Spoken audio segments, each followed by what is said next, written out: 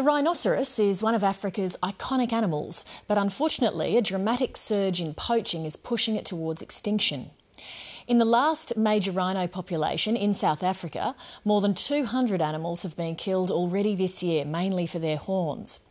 So, authorities are pursuing a drastic remedy, dehorning rhinos before they can be poached. African governments are even considering legalising the trade in rhino horn, but it's an idea that inflames passions, as Africa correspondent Ginny Stein reports.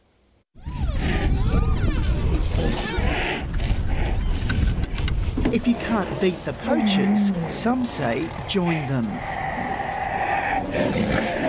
Second from the left, we can do. it. She's an adult. Yeah. Let's. I'll make a dart for an adult and a two.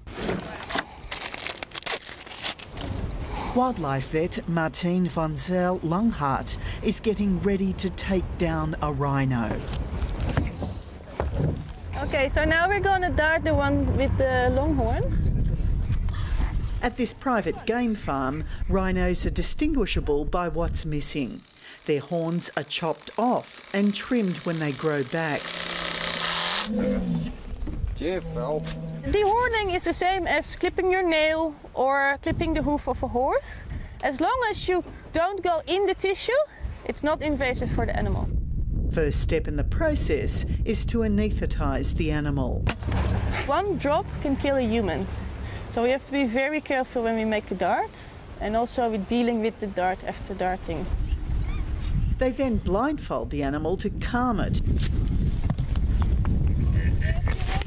before measuring the horn to ensure they don't remove too much.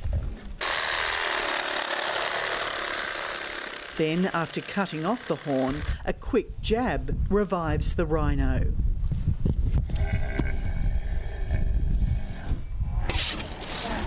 A conservation success story, South Africa is home to 80% of the world's dwindling population of rhinos.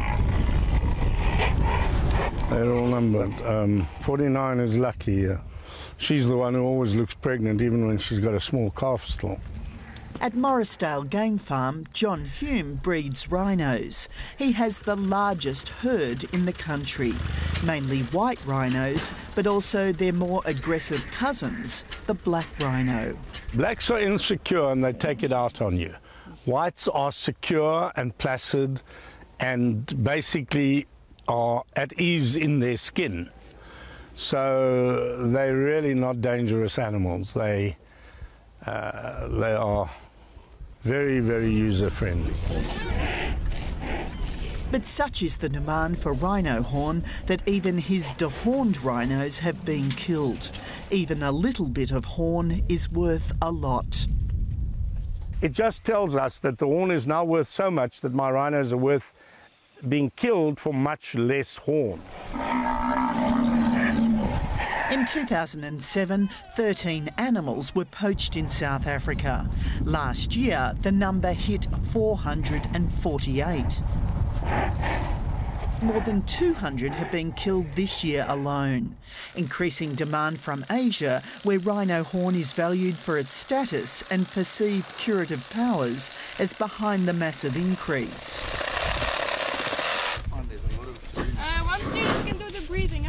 The warnings are there that if current trends continue, deaths will outstrip births. The first step towards the potential end of a species. With hundreds already killed this year, the relentless slaughter of Africa's last remaining rhino population appears unstoppable. Those pushing to legalise trade in rhino horn say it may be the only way to stop the animal being pushed to extinction.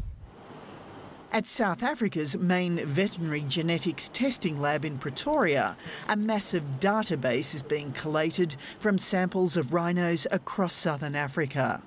Traceability of both the animal and its horn are vital if trade in rhino horn is ever to be legalised. At this stage, in terms of individual animals, we have about 5,500 on the database.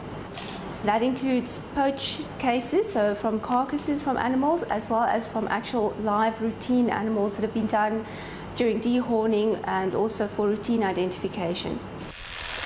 But there's passionate opposition to dehorning.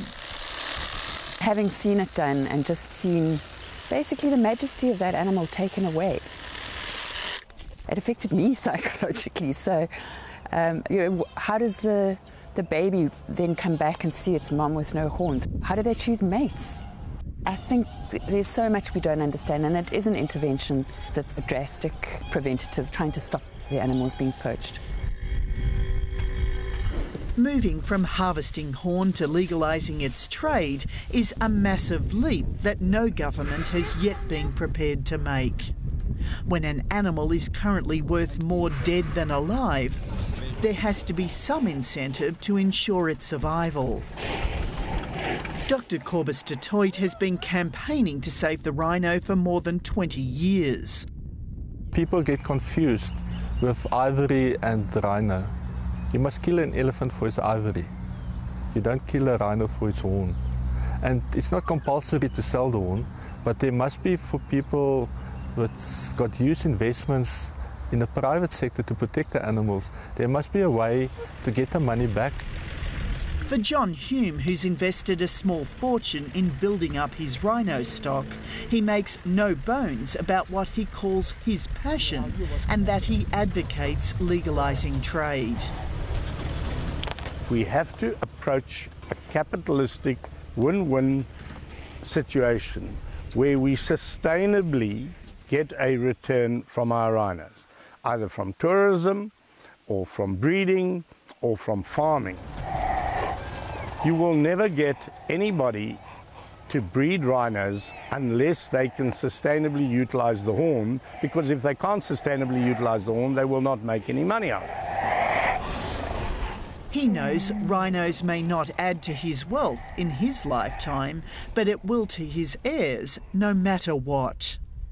My investment advisor says I shouldn't bother about selling the horn because the, the price is going up so astronomically. And if they go extinct, the price of my horn will go up even more astronomically. The South African government, which is sitting on its own massive stockpile of ivory and rhino horns, has commissioned a study on legalising trade. It will help it decide whether to support such a move. The study is based on the national legalization of the trade. So it's still not addressing the international legalization. Um, but it, it will inform, the, the results of that study will hopefully inform us better about some of the international issues should trade be considered. There's no doubt about it, there will still be poaching, but we are supplying those floodgates anyway, all from dead rhinos. You are supplying that market. Yes, we don't know how big it is because we drove it underground. So we can't judge how big it is. But you are supplying it from dead rhinos. Now, that to me makes no sense at all. The truth is, no one knows what legalising the trade in horns would mean for the fate of the rhino. But if nothing is done, they face extinction.